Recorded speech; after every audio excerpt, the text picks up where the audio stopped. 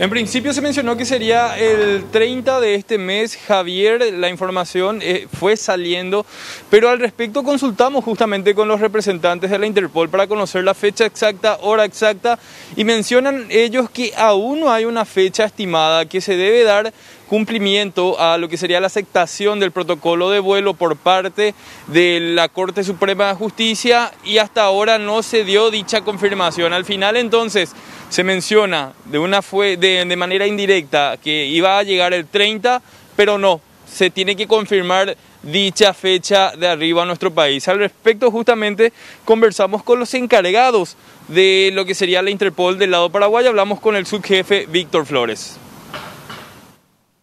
de la parte administrativa de la corte, viendo los, los, lugares. Se tenga todo, se tenga todo el vuelo, plan de vuelo, todo eso ya es ejecutarlo ya. No creo que sea esta semana ni la otra, es que estamos viendo que, que distinto. Hemos consultado a nuestros padres, también tenemos respuesta de la situación del otro Juan.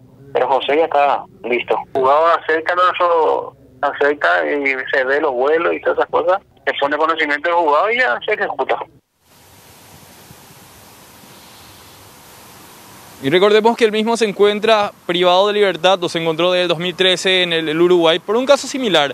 Tanto él como Juan y Dante, los hermanos peiranos, entonces hicieron un desvío millonario de millones de dólares, digamos, del Banco de Montevideo para empresas familiares. Por eso es que está, él mismo ya habría cumplido el tiempo eh, correspondiente a la privativa de libertad. Aún queda unos años pendientes para los hermanos. Por eso solamente José Peirano estaría ingresando a nuestro país a finales del mes, según fuentes indirectas. Sobre esto también consultamos justamente con el juez Raúl Florentín, quien maneja el expediente de José Peirano y menciona el mismo que ni bien arriba al país, ya las causas o el proceso debe ser reanudado inmediatamente. Al respecto, palabras suyas.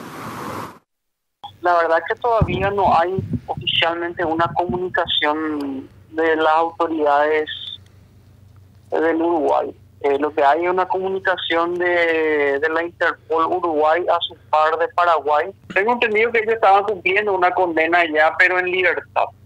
Eso es eh, la información que tengo. Se levanta el estado de rebeldía, como te dije, ahora se imponen medidas cautelares y también, obviamente, se, reinicia el cómputo de los plazos procesales, ¿verdad? Eh, en la causa había una imputación eh, en ese sentido se tendría que conceder un plazo al Ministerio Público para que pueda culminar esa investigación. Ya estaría el Ministerio Público al término de, esa, de ese plazo presentando algún requerimiento conclusivo. Y bueno, ese requerimiento conclusivo se estudiaría en la audiencia preliminar. Es hasta ahí donde va mi competencia en el proceso. Al fin, al final el expediente abierto de momento que se va a estar, digamos, utilizando para poder realizar el proceso correspondiente es el por las causas de lesión de confianza y actitud indebida en situaciones de crisis, por lo que recordemos eh, la quiebra del banco alemán paraguayo.